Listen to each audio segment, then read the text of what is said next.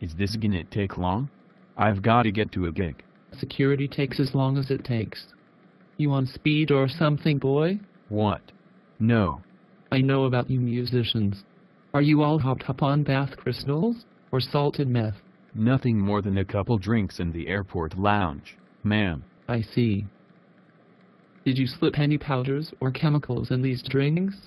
Venezuelan dancing dust? Peruvian melodrops? Chinese dip soapy root? Maybe? They were just cocktails. Oh, cocktails.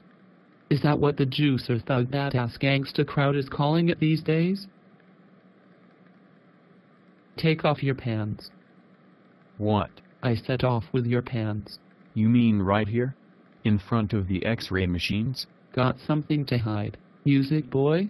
Have you got a piccolo packed with heroin lodged in your rectum? No, it's just that your security approach seems heavy-handed, not to mention unorthodox.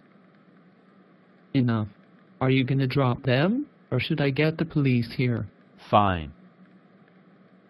Here goes.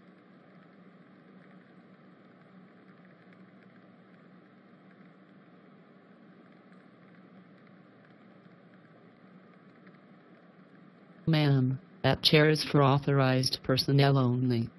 Please return to the passenger area.